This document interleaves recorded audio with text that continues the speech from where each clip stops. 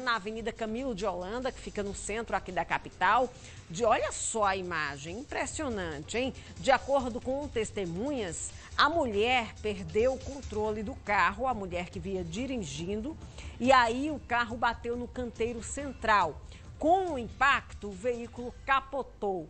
Devia vir rápido, hein? Porque é, para capotar assim, só em bater no canteiro central, foi impressionante aí a capotada dela. Olha aí a marca no canteiro central, o carro que ficou de ponta cabeça, o trânsito, claro, ficou lento nesse trecho. O trecho que fica por trás do Colégio Liceu Paraibano é bem movimentado, então com uma faixa interditada por conta desse acidente, é claro que o trânsito ficou prejudicado hoje de manhã.